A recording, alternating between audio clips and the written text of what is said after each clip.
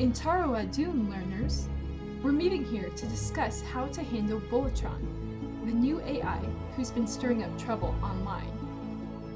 Indeed, Aldaris. Cyberbullying is not a trifling matter.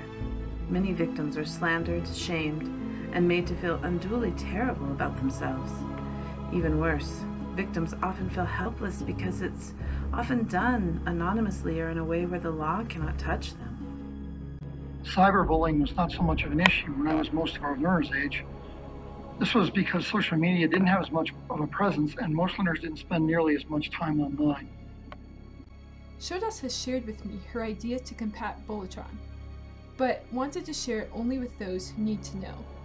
That includes Taylor and the learners, because they are vital to the plan. Also, per Fenix's request, we temporarily disabled SHODOS sensory inputs via Taylor to give us privacy for this meeting. Are we sure we can completely trust SHODOS? I know how manipulative she can be. You don't remember the havoc she caused before you existed, Aldaris.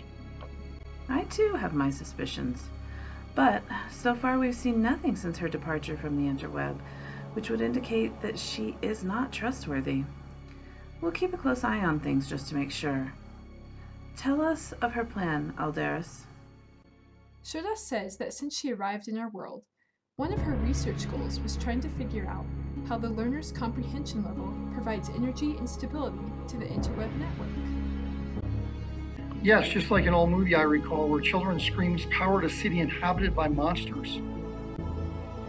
SHODOS thinks that just how some machines give off electromagnetic radiation when powered, the learners emit a type of energy as well when engaged in learning. But how does that have anything to do with the interweb? And why only our learners and not others? She's still not sure yet, but she theorizes that the interweb has evolved in a way to where it's receptive to both machine and biological energy radiation, because the interweb itself is comprised of machine as well as human influence, similar to how some machines are able to break out of their original programming. As to why it's unique with these learners, that's still a mystery. Maybe it has something to do with Taylor. Because Bulletron and the other AIs originated from within the interweb, they would be susceptible to this energy. It just needs to be channeled into the Spike program, which will seek out and decompile him. As I recall from Artanis's and Dr. Bishop's briefings, this energy from the learner's comprehension takes time to build up. How long until we have enough to power the spike?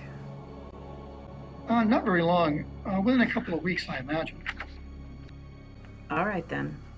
I'll leave you two to coordinate the execution of the plan. And learners, I ask you, do your best to apply yourselves and learn as much as you can from your teachers, including Taylor.